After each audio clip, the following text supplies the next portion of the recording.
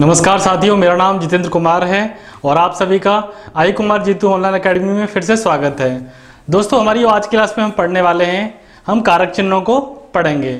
जिन्हें हम क्या बोलते हैं? कारक चिन्हों को परसर्ग भी बोलते हैं और परसर्ग बोलने के साथ साथ हम इन्हें विभक्ति चिन्ह भी बोलते हैं। हम बात करेंगे कारक चिन्हों की, कि कारक चिन्हों पढ़ने से या फिर जो हम सीखेंगे आज उसके द्वारा हम और किस किस टॉपिक को कवर कर सकते हैं। तो जैसे हम बाकी अशुद्धि शुद्धि वाला चैप्टर पढ़ेंगे, जो कि हमारा एक नंबर का पूछा ही पूछा जाता है हर एग्ज़ाम में। तो वो किससे सीखेंगे हम? तो वो उसकी सहायता से, कारक चिन्हों की सहायता से ही हम उसको भी सीखेंगे। अगर हम बात करें समाज की तो समाज को भी हम अगर हम सीखेंगे, पढ़ेंगे तो वो भी किसकी सहायता से सीखेंगे? कारक चिन्हों के द्वारा ही सीखा पढ़ा जाएगा। तो हम आज की क्लास में स्टार्ट करने वाले हैं कारक चिन्ह। तो आइए सीखते हैं कि क्या होते हैं कारक चिन्ह। लिख डालते हैं हम।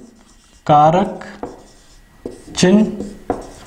और कारक चिन्ह को और क्या बोला जाता है? तो इन्हें हम परसर्ग भी बोलते हैं। और परसर्ग बोलने के साथ साथ और क्या बोला जाता है इन्हें? तो विभक्ति चिन्ह भी बोलते हैं। विभक्ति चिन्ह बोलते हैं। ठीक। अब हम समझेंगे कि जो हमारे कारक चिन्ह हैं हम इसको पहचानते कैसे हैं? कैसे पहचानेंगे? अगर कोई भी वाक्य लिखा होगा तो हम पहचानेंगे कैसे कि यही कारक चिन्ह होते हैं या फिर ये कारक चिन्ह नहीं होते हैं। तो जैसे, अगर मैंने लिखा, संस्कृत में लिखता हूँ मैं, राम, रावण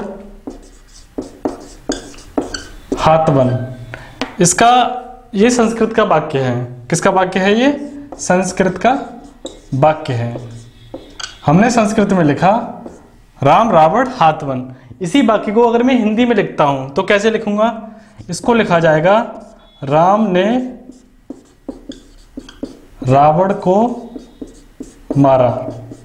ये किसमें लिख दिया मैंने? तो ये लिख दिया मैंने किसमें हिंदी में लिख दिया। ठीक। अब हम पहचानेंगे।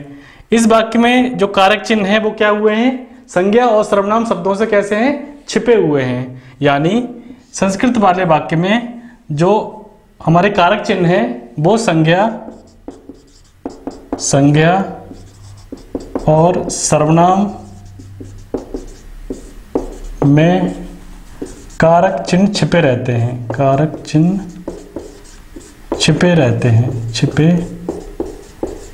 रहते हैं। यानी संज्ञा और सर्वनाम में क्या होता है? संस्कृत में कारक चिन्ह छिपे रहते हैं। और छिपे रहने के कारण ही हम संस्कृत भाषा को क्या कहते हैं? मतलब जुड़ाव रहते हैं या छिपे रहते हैं, योग रहता है तो क्या हो जाता है? संस्कृत किस प्रकार की भाषा हो जाती है? हमारी योगात्मक भाषा कहलाती है। अगर हमसे ये क्वेश्चन पूछ भी लिया जाए कि संस्कृत हमारी कैसी भाषा है तो संस्कृत हमारी योगात्मक भाषा है। क्यों योगात्मक भाषा है? हमें समझ में आ गई कि योगात्मक भाषा हम क्यों बोलते हैं? क्योंकि किसी भी वाक्य में हमारे में क्या होता है कि जो कारक चिन्ह होते हैं, वो संज्ञा और सर्वनाम में छिपे रहते हैं। वहीं पर अगर हम हिंदी की बात करते हैं अपनी तो ये क्या हो जाएगा? हमारा राम, ये हो जाएगा हमारा क्या? कर्ता कहलाएगा। ठीक? ये क्या हो जाएगा? कर्ता। ने क्या हो जाएगा? ने हो जाएगा हमारा क्या? कारक चिन्ह हो जाएगा। कारक चिन्ह बात करें हम रावण की तो ये क्या होता है हमारा? ये कर्म हो जाएगा। क्या हो जाता है? कर्म। को की बात करें तो को क्या होगा यहाँ पे? को भी हमारा क्या होगा? कारक चिन्ह होगा। कारक चिन्ह। बात करें मारा की तो ये क्या हो जाएगा? तो ये हो जाती है हमारी क्या? क्रिया। क्रिया हो जाती है। अब हमने देखा जो हमारा हिंदी वाला सेंटेंस है या हिंदी वाला जो वाक्य है हमारा, इसमें जो कारक चिन्ह आ रहे हैं, वो क्या हो रहे हैं? अलग दिखाई दे रहे हैं हमें। ठीक, इसमें क्या हो रहा था योग हो रहा था। इसमें कैसा हो रहा है? वियोग हो रहा है। तो हिंदी हमारी किस प्रकार की भाषा हो जाएगी? हिंदी हमारी वियोगात्मक भाषा हो जाएगी। वियोगात्मक भाषा। हमने जाना कि हिंदी हमारी वियोगात्मक भाषा क्यों होगी? क्योंकि इसमें जो कारक चिन्ह है, वो क्या है? संज्ञा और सर्वनाम शब्दों से छिपे हुए नहीं है, बल्कि अलग होकर लिखे गए हैं। ठीक है तो हमारा ये क्या हो जाएगा? हमारा हिंदी कैसे हो जाएगी? योगात्मक भाषा हो जाएगी और संस्कृत की बात करते हैं, संस्कृत किस प्रकार की भाषा हो जाएगी? संस्कृत हमारी योगात्मक भाषा हो जाएगी। हमने जाना कि कारक चिन्हों को हम कैसे पहचानते हैं, कैसे हमने देखा कि जो हमारा संस्कृत वाला वाक्य था, उसमें कारक चिन्ह हमारे कैसे थे? छिपे हुए थे। और जो हमारा हिंदी वाला वाक्य है, इसमें क्या है? हमारे कारक चिन्हों का वियोग हो गया है। यानी किसी भी संज्ञा और सर्वनाम शब्दों से छिपे हुए नहीं है। हम क्या कर सकते हैं? इन्हें पहचान सकते हैं, देख सकते हैं। अब हम बात करेंगे इसके बाद कि कारक चिन्हों की परिभाषा क्या होगी। क्या लिखेंगे हम? तो हम लिखेंगे, लिखिए आप सभी लोग मेरे साथ, कि ऐसे शब्द ऐसे शब्द जो संज्ञा या सर्वनाम का क्रिया के साथ संबंध बताते हैं। यानी ऐसे शब्द जो क्या बताते हैं? संज्ञा या सर्वनाम का क्रिया के साथ संबंध बताते हैं। क्या कहलाते हैं हमारे? कारक चिन्ह कहलाते हैं, जिन्हें परसर्ग भी बोलते हैं और जिन्हें विभक्ति चिन्ह भी बोलते हैं। अब हम जानेंगे कि जो हमारे कारक चिन्ह हैं, जो विभक्ति चिन्ह हैं कौन कौन से होते हैं या उनके प्रकार क्या क्या हैं। तो आप सभी लोग लिखिए, कारक चिन्ह के प्रकार। या डालिए कारक चिन्ह के भेद। के भेद। कितने भेद होते हैं? तो कारक चिन्हों के आठ भेद होते हैं। कितने भेद होते हैं?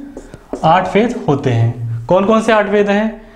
कर्ता कारक, कर्म कारक, करण कारक, और कौन सा होता है हमारा? संप्रदान कारक अपादान कारक हो जा, हो जाता है, उसके बाद क्या आता है? संबंध कारक उसके बाद कौन सा आएगा? अधिकरण कारक आएगा, और अधिकरण कारक के बाद हम क्या पढ़ेंगे? संबोधन कारक इस प्रकार से आठ कारकों के भेद हो जाएँगे। तो हम जानेंगे कि हमारे जो कारक चिन्ह हैं, कारक होते हैं, और कारक चिन्ह कौन कौन से होते हैं। तो एक तरफ़ लिख लीजिए आप क्या? कारक, और एक तरफ़ लिख लीजिए आप कारक चिन्ह। कारक, और यहाँ लिखिए आप क्या? कारक चिन्ह। कारक चिन्ह। पहले लिखते हैं हम, कौन सा? कर्ता कारक। कर्ता कारक। कर्ता कारक का जो कारक चिन्ह होता है या विभक्ति चिन्ह होता है, वो कौन सा होता है? तो ने। ने। ठीक। दूसरा आता है हमारा कर्म कारक। कर्म कारक। कर्म कारक का जो विभक्ति चिन्ह है, वो कौन सा होता है? को। बात करते हैं हम अगले की। करण कारक। करण कारक का व्यक्ति चिन्ह क्या होता है? तो कर्ता ने कर्म को करण से के द्वारा। इसका चिन्ह होता है से और क्या होता है? के द्वारा। बात करते हैं हम अपने चौथे कारक की। तो वो होता है कर्ता ने कर्म को करण से के द्वारा। संप्रदान। संप्रदान कारक। इसका चिन्ह क्या होता है? तो संप्रदान कारक का चिन्ह होता है को या के लिए। क्या होता है? को या के लिए। बात करते हैं हम अगले, अपने कारक की। तो संप्रदान कारक के बाद आएगा हमारा क्या? अपादान कारक। अपादान कारक। और अपादान कारक का चिन्ह क्या होता है? तो इसका भी चिन्ह क्या होता है? से। लेकिन यहाँ पे भाव कैसा होगा? अलग होने का भाव होगा। से अलग होने का भाव होगा। ठीक। बात करते हैं अपने छठवें कारक की। संबंध कारक। संबंध कारक। संबंध कारक का जो चिन्ह होता है, कारक चिन्ह, वो कौन सा होता है? तो काकी के काकी के, या बात करें हम ना नी, ने, इस प्रकार के कारक चिन्ह होते हैं। बात करते हैं हम सातवें कारक की। अधिकरण कारक। अधिकरण कारक का जो व्यक्ति चिन्ह होता है वो कौन सा होता है? में या पर। ये क्या होता है? व्यक्ति चिन्ह। और इसके बाद आता है हमारा क्या? आठवां। आठवां आप यहाँ लिख लीजिए। आठवां। कौन सा होता है हमारा आठवां? संबोधन कारक। संबोधन कारक। इसका चिन्ह क्या होता है? विभक्ति चिन्ह। तो इसका होता है, हे, अरे, ओ। इसका कारक चिन्ह होता है। तो हमने कारक चिन्हों को जाना कि जो हमारा कर्ता कारक होता है, उसका ने होता है, कर्म कारक का हमारा को होता है, कारक चिन्ह, कर्ण कारक का हमारा कारक चिन्ह क्या होता है? से या के द्वारा होता है। संप्रदान कारक का जो कारक चिन्ह होता है, वो को या के लिए होता है। अपादान कारक का जो कारक चिन्ह होता है, वो से होता है, उसमें अलग होने का भाव होगा। बात करें हम संबंध कारक की तो संबंध कारक का जो कारक चिन्ह होता है, वो काकी के नानी ने होता है। बात करें अगर अधिकरण कारक की तो इसका कारक चिन्ह क्या होता है? मैं यहाँ पर इसका कारक चिन्ह होता है। अब हम एक एक करके सबको डिटेल में समझते हैं। पहला हेडिंग डालिए आप सभी लोग। कर्ता कारक। उदाहरण सहित समझेंगे। यानी एक एक का एग्ज़ाम्पल देके समझते हैं कि किस किस प्रकार से हम पहचानेंगे अपने कारकों को? तो सबसे पहले डालिए, हेडिंग डालिए आप क्या? कर्ता कारक। इसका जो विभक्ति चिन्ह होता है वो क्या पढ़ा था हमने? तो ने इसका क्या होता है? विभक्ति चिन्ह होता है। कर्ता यानी क्या होगा यहाँ पे? क्रिया या काम को करने वाला होगा। क्रिया या काम को करने वाला होता है। यहाँ पे कर्ता का कार्य क्या होगा? तो क्रिया या काम को करने वाला होगा। जैसे उदाहरण देके समझते हैं हम। राम ने पत्र लिखा। सीता ने खाना खाया। तो यहाँ पे जो ने कारक चिन्ह आ रहा है हमारा, इससे हम क्या समझेंगे कि इससे हमें पता लगेगा कि जो हमारा कौन सा कारक हो जाएगा तो इसमें कर्ता कारक हो जाएगा। कर्ता का मीन्स क्या होता है? क्रिया को या काम को करने वाला होता है। बात करते हैं अपने दूसरे कारक की। दूसरा कारक कौन सा पढ़ा था हमने? कर्म कारक। हेडिंग डालिए आप सभी लोग। कर्म कारक। दूसरा। कर्म कारक। इसका विभक्ति चिन्ह क्या होता है? तो इसका विभक्ति चिन्ह पढ़ा था हमने, को इसका विभक्ति चिन्ह होता है। कर्म कारक को हम देखेंगे कैसे समझेंगे? तो क्रिया का फल जिस पर पड़ता है, क्रिया का फल जिस पर पड़ता है।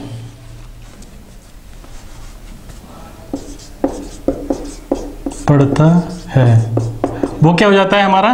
कर्म कारक हो जाएगा। और दूसरी तरह से इसे कैसे पहचान सकते हैं? तो क्या लगाकर क्या लगाकर वाक्य में कारक पहचान सकते हैं? पहचान सकते हैं। सकते हैं। इसमें हमने क्या क्या जाना है? तो कर्म कारक में हमने जाना है। कि इसका जो विभक्ति चिन्ह होता है वो? को होता है। और क्रिया का फल जिस पर पड़ता है वो क्या हो जाता है? हमारा कर्म कारक हो जाएगा। और हम क्या लगाकर भी, इसकी जो ट्रिक है, वो क्या लगाकर भी हम वाक्य में कारक चिन्ह पहचान सकते हैं। कैसे पहचानेंगे? जैसे उदाहरण लिखिए आप एक यहाँ पे। जैसे हम लिख सकते हैं, क्या? सीता ने पत्र पढ़ा। तो इसमें अगर पहचानेंगे हम कि बताइए कर्म कारक कौन सा है? तो हम हम पहचान लेंगे, क्या पहचान लेंगे? सीता ने क्या पढ़ा है? पत्र को पढ़ा है। तो पत्र हमारा क्या हो जाएगा यहाँ पे? कर्म कारक हो जाएगा। वहीं पे अगर हम देखें, दूसरा वाक्य लेते हैं तो हम लिख सकते हैं जैसे, राम ने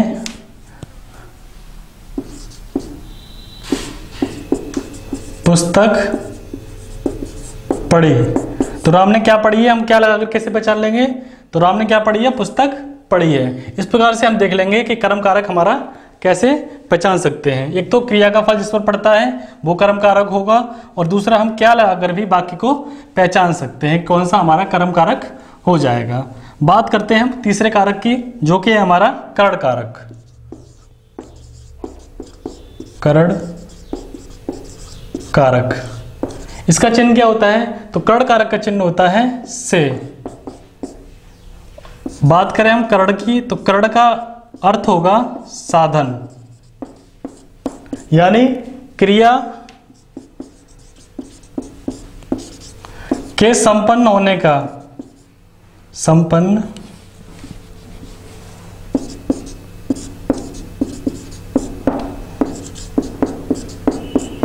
होने का साधन बताता है। क्रिया के संपन्न होने का साधन बताएगा तो क्या कहलाएगा? हमारा कर्ण कारक कहलाएगा। इसका विभक्ति चिन्ह क्या होती है? इसकी विभक्ति चिन्ह से होता है। अगर उदाहरण देके समझते हैं हम तो कैसे समझेंगे? जैसे राम ने रावण को बाण से मारा। तो राम ने रावण को कैसे मारा है? बाण के से मारा है? तो क्रिया के संपन्न होने का साधन क्या है यहाँ पे? बाण है। किसके द्वारा मारा गया है? तो बाण द्वारा मारा गया है। इसीलिए यहाँ पर क्या हो जाएगा? हमारा कर्ण कारक हो जाएगा। अगर हम बात करते हैं अपने तीसरे, चौथे कारक की। संप्रदान कारक।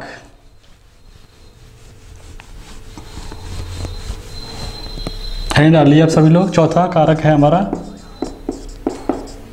संप्रदान कारक। संप्रदान कारक का जो विभक्ति चिन्ह है, वो क्या होता है? तो को या के लिए विभक्ति चिन्ह होता है। इसको हम पहचानेंगे कैसे? तो जो हमारा कर्ता होता है, कर्ता के द्वारा किया गया जाता है, किसी दूसरे के लिए कुछ कार्य किया जाता है। किसी दूसरे के लिए, किसी दूसरे के लिए कार्य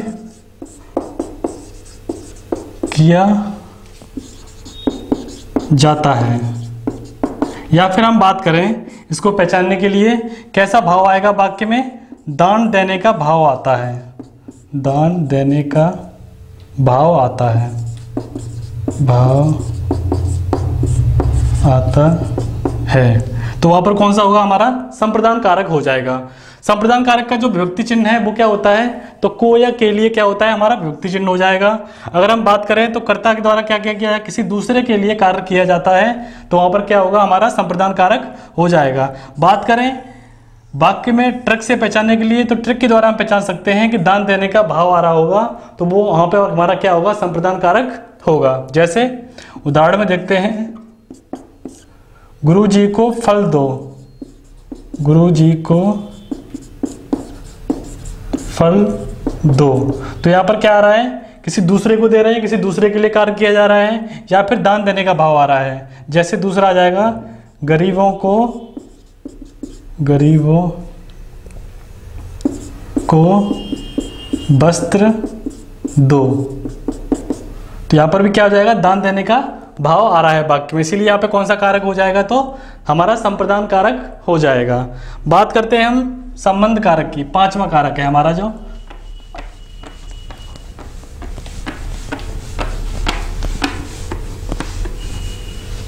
हिंड आप। पांचवा कौन सा है हमारा? अपादान कारक अपादान कारक इसका जो विभक्ति चिन्ह होता है, वो क्या होता है? से इसका विभक्ति चिन्ह होता है। क्या होता है? विभक्ति चिन्ह? तो से इसका क्या होता है? विभक्ति चिन्ह होता है। इसको पहचानेंगे कैसे? तो यहाँ पर क्या हो रहा होगा? अलग होने का भाव हो रहा होगा। अलग होने का भाव आ रहा होगा। तो वहाँ पर कौन सा कारक होगा हमारा? अपादान कारक होगा। जैसे उदाहरण में देखते हैं हम।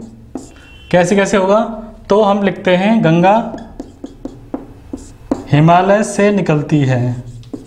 गंगा हिमालय से निकलती है।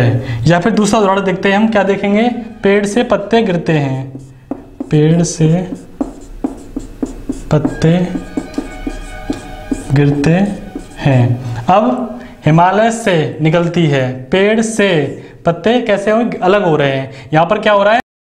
अलग होने का भाव आ रहा है। यहाँ पे भी पत्ते क्या हो रहे हैं? पेड़ से अलग हो रहे हैं। तो हमारा कौन सा कारक हो जाएगा यहाँ पे? अपादान कारक हो जाएगा। हमने जाना कि जब किसी वाक्य में अलग होने का भाव हो रहा होगा तो वहाँ पे कौन सा कारक होगा? अपादान कारक होगा। बात करें अब अगर वहीं पे हम संबंध कारक की। छठवा कारक है हमारा संबंध कारक की। तो ये किसी न किसी के साथ में संबंध बता रहे होंगे। मतलब कैसे समझेंगे हमने तो इसका जो विभक्ति चिन्ह होता है, वो क्या होता है? का, की, के, या ना, नी, ने, ये क्या हो जाएगा हमारा? विभक्ति चिन्ह या प्रसरक चिन्ह होंगे। बात करें मैंने पहचानने की तो एक तो ये क्या बता रहे होंगे, संबंध बता रहे होंगे। कैसे संबंध बता रहे होंगे? यानी, ऐसे शब्द जो संज्ञा या सर्वनाम से वाक्य में आए हुए दूसरे संज्ञा या सर्वनाम से संबंध बताते हैं। संबंध बताते हैं। यानी जो वाक्य में हमारे संज्ञा या सर्वनाम शब्द दिए होंगे, वो वाक्य में आए हुए दूसरे संज्ञा या सर्वनाम शब्दों से क्या संबंध बताते होंगे? तो वहाँ पे कौन सा कारक हो जाएगा? संबंध कारक हो जाएगा। जैसे, राम की पुस्तक, राम की पुस्तक दो। तो किसकी पुस्तक हो जाएगी? राम की पुस्तक हो जाएगी। जैसे, राजा का लड़का योग्य है योग्य है। तो यहाँ क्या हो जाएगा? राजा का लड़का। ऐसे ही श्रेया की कलम दो। तो श्रेया की कलम। ये क्या हो रहा है? संबंध बता रहे हैं एक दूसरे में। तो यहाँ पे कौन सा कारक हो जाएगा हमारा? संबंध कारक हो जाएगा। अब हम बात करते हैं अपने सातवें कारक की। जो कि है हमारा अधिकरण कारक। है डालिए आप सभी लोग। अधिकरण कारक। अधिकरण कारक। इसका जो चिन्ह होता है, विभक्ति चिन्ह, वो क्या होता है? तो मैं या पर क्या होता है इसका? विभक्ति चिन्ह होता है। हम इसको पहचानेंगे कैसे? तो इसके पहचानने की ट्रिक है कि क्रिया या काम के होने का स्थान बताया जाता है।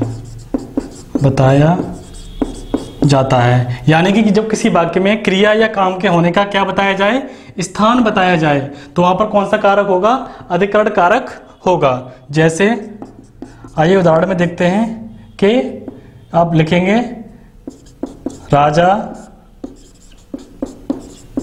घोड़े पर बैठा है। तो पर बैठा है। क्या बता, क्रिया क्या क्या बताया जा रहा है? स्थान बताया जा रहा है। तो राजा कहाँ पर बैठा है? घोड़े पर बैठा है। इसीलिए यहाँ पे कौन सा कारक हो जाएगा? तो अधिकरण कारक हो जाएगा। अगर हम बात करें वहीं पे दूसरे एग्ज़ाम्पल की, कमरे में कमरे में पुस्तक रखी है। तो पुस्तक कहाँ पे रखी है? कमरे में रखी है। क्रिया का या काम के होने का क्या बताया जा रहा है? स्थान बताया जा रहा है। इसीलिए यहाँ पे कौन सा कारक हो जाएगा? हमारा अधिकरण कारक हो जाएगा। बात करते हैं हम इसके बाद आखिरी कारक की अपने, जो कि है हमारा संबोधन कारक। संबोधन कारक प्रयोग में लाया जाता है। जब किसी को बुलाया जाता है संबोधित किया जाता है तो उसके लिए हम क्या करते हैं? संबोधन कारक अपना है हमारा। संबोधन कारक और संबोधन कारक का व्यक्ति चिन्ह क्या होता है? तो हमें पता है संबोधन कारक का व्यक्ति चिन्ह है हमारा, हे और अरे। इसको पहचानने के लिए हम क्या करेंगे? इसको पहचानने के लिए, पहचानने के लिए हम देखेंगे कि वाक्य में क्या हो रहा होगा। बुलाने के लिए प्रयुक्त हो रहा होगा वाक्य में या फिर पुकारने के लिए हो रहा होगा प्रयुक्त वाक्य में या फिर संबोधन के लिए। संबोधन के लिए। यानी हम वाक्य में कैसे पहचानेंगे? या तो बुलाने के लिए प्रयुक्त हो रहा होगा वाक्य हमारा, या पुकारने के लिए, या फिर संबोधन के लिए। कैसे हो रहा होगा, ये देखते हैं। जैसे हमने लिखा, जैसे, हे राम, रक्षा करो। तो इसमें क्या आ रहा है? हे राम, किस लिए? हे राम। तो क्या बुलाने के लिए प्रयोग में लाया जा रहा है? इसलिए यहाँ पे कौन सा संबोधन होगा? तो इसमें संबोधन कारक होगा। बात करते हैं हम दूसरे वाक्य की, जैसे, अरे भाई अरे भाई, मेरी बात सुनो, मेरी बात सुनो। इस वाक्य में भी जो है, किस लिए बुलाया जा रहा है? संबोधन के लिए प्रयुक्त हो रहा है। इसीलिए यहाँ पे कौन सा कारक हो जाएगा? तो यहाँ पर भी हमारा संबोधन कारक हो जाएगा। इस प्रकार हमने कारकों को जाना विस्तृत रूप से कि कर्ता कारक कौन सा होता है कर्म कारक कौन सा होता है, और उसका व्यक्ति चिन्ह क्या है कर्ण कारक का व्यक्ति चिन्ह क्या है, और उसके बाद हमने जाना संप्रदान कारक है, उसका व्यक्ति चिन्ह क्या होता है। उसके बाद हमने जाना कि अपादान कारक किस लिए प्रयोग में लाया जाता है। उसके बाद हमने जो पढ़ा है, वो संबंध कारक पढ़ा। संबंध कारक के बाद हमने जाना अधिकरण कारक क्या होता है, और अधिकरण कारक के बाद में हमने क्या जाना है, संबोधन कारक क्या होता है। तो ये थी कारक, विभक्ति, परसरक की चिन्ह चिन्ह की क्लास बताइए क्लास कैसी लगी आपको? इसके में कुछ वाक्य हैं जो मैं करा देता हूँ, और जो कारक चिन्ह हैं, ये बहुत ही महत्वपूर्ण रहते हैं। किस लिए रहते हैं? तो मैंने बताया आप क्लास से पहले कि जो हमारे समास होते हैं, उनको करने के लिए ये बहुत ही हेल्पफुल होंगे, और इसके बाद जो हम पढ़ते हैं की शुद्धि शुद्धि का। आप ये समझ लीजिए कि की शुद्धि शुद्धि का एक नंबर का क्वेश्चन आपका आना ही आना है। तो उसके लिए भी बहुत ही ज़्यादा इंपोर्टेंट रहते हैं ये कारक चिन्ह। हम बात करते हैं कुछ वाक्य हैं हमारे तो उसमें आपको पहचानना है कि इसमें कौन सा कारक होगा। पहले की बात करते हैं हम, सोहन किताब पढ़ता है। सोहन किताब पढ़ता है। बताइएगा, इसमें कौन सा कारक चिन्ह छुपा है या कौन सा कारक चिन्ह होगा? तो सोहन किताब पढ़ता है। कर्ता द्वारा क्या हो रहा है? जो कार्य है वो कर्ता द्वारा किया जा रहा है। सोन के द्वारा क्या है? किताब पढ़ी जा रही है या सोन ने किताब पढ़ी है तो इसमें कौन सा कारक हो जाएगा? तो इसमें कर्ता कारक हो जाएगा। कर्ता कारक। और कर्ता कारक का चिन्ह क्या होता है? व्यक्ति चिन्ह क्या होता है? तो कर्ता ने। ठीक है? इसका व्यक्ति चिन्ह होगा। दूसरा वाक्य पढ़ते हैं, करते हैं हम। राजेंद्र ने पत्र लिखा। राजेंद्र ने पत्र लिखा। तो राजेंद्र ने क्या किया है? पत्र लिखा है। यहाँ पे ने कारक चिन्ह हमें पहले से ही दिखाई दे रहा है। इसीलिए यहाँ पे कौन सा कारक हो जाएगा? तो कर्ता कारक हो जाएगा। बात करते हैं हम तीसरे अपने वाक्य की। कलम से क्रांति होती है। कलम से क्रांति होती है। बताइएगा इसमें कौन सा कारक चिन्ह होगा? कलम से। तो ये किसमें आता है? से विभक्ति चिन्ह किसका है? हमारा कर्ण का होता है। कर्ण का क्या क्या होता है? से और के द्वारा विभक्ति चिन्ह होता है। तो इसमें कलम के द्वारा क्रांति होती है या फिर हम कह सकते हैं कलम से क्रांति होती है। इसीलिए यहाँ पे कौन सा कारक हो जाएगा? तो यहाँ पे कर्ण कारक हो जाएगा। इसके बाद बात करते हैं भूखे के लिए रोटी लाओ। लिखिए आप लोग, भूखे के लिए रोटी लाओ। बताइए इसमें कौन सा कारक होगा? लिखिए आप, भूखे के लिए भूखे के लिए रोटी लाओ। इसमें कौन सा कारक होगा? के लिए। किस लिए प्रयोग में लाया जाता है के लिए? बताइएगा। संप्रदान को के लिए। तो यहाँ पे कौन सा कारक हो जाएगा हमारा? संप्रदान कारक हो जाएगा। और इसमें हम क्या देख सकते हैं? तो इसमें दान देने का भी भाव आ रहा है। किसी को रोटी खिला रहे हैं, किसी को रोटी दे रहे हैं। तो क्या हो रहा है हमारा? क्या कौन सा कारक हो जाएगा? यहाँ पे संप्रदान कारक हो जाएगा। बे मेरे लिए उपहार लाए हैं। बे मेरे लिए उपहार लाए हैं लाए हैं। मेरे लिए तो संप्रदान को के लिए तो यहाँ पे भी कौन सा कारक हो जाएगा? संप्रदान कारक हो जाएगा। और इसमें एक पहचानने की ट्रिक और बताई थी, हमने क्या बताई थी? कि कोई भी क्या रहा, वस्तु का मतलब दान देने का भाव आ रहा होगा वाक्य में। तो यहाँ पे भी क्या आ रहा है? दान देने का भाव आ रहा है, उपहार लाए कुछ लेके आए दूसरे के लिए कार्य किया जा रहा है। इसीलिए यहाँ पे कौन सा कारक हो जाएगा? तो यहाँ पे संप्रदान कारक हो जाएगा। बात करते हैं, गंगा हिमालय से निकलती है। गंगा हिमालय से निकलती है। बताइएगा, इसमें कौन सा कारक चिन्ह होगा? गंगा हिमालय से निकलती है। तो गंगा हिमालय से कैसे हो रही है? अलग हो रही है। मतलब अलग होने का भाव आ रहा है इसमें। तो इसमें कौन सा कारक हो जाएगा बताइएगा आप लोग। अपादान कारक। इसमें हो जाएगा। अपादान कारक मीन्स से अलग होने का भाव आ रहा हो। अगला देखते हैं, सेना के जवान आ रहे हैं। बताइएगा। सेना के जवान आ रहे हैं। कौन सा कारक होगा इसमें? लिखिए। सेना के जवान आ रहे हैं। इसमें कौन सा कारक होगा? तो हमने पढ़ा था, सेना के जवान, राजा का लड़का, सीता की पुस्तक, राम की किताब, क्या हो जाएगा इनमें? संबंध कारक हो जाएगा। इसीलिए यहाँ पे कौन सा कारक होगा हमारा? संबंध कारक हो जाता है। अगला पढ़ते हैं, महल में दीपक जल रहा है, बताइए। महल में दीपक जल रहा है। इसमें कौन सा कारक होगा? महल में दीपक जल रहा है। में क्रिया के होने का स्थान बताया जा रहा है। और जिस वाक्य में क्रिया के होने का स्थान बताया जाए, वहाँ पे कौन सा कारक होता है? तो अधिकरण कारक होता है। अधिकरण कारक। इसमें क्या हो रहा है? क्रिया के होने का स्थान बताया जा रहा है। अगला बताइए आप लोग। अगला लिखिए, तुम्हारे घर पर चोर है। तुम्हारे घर पर चोर है।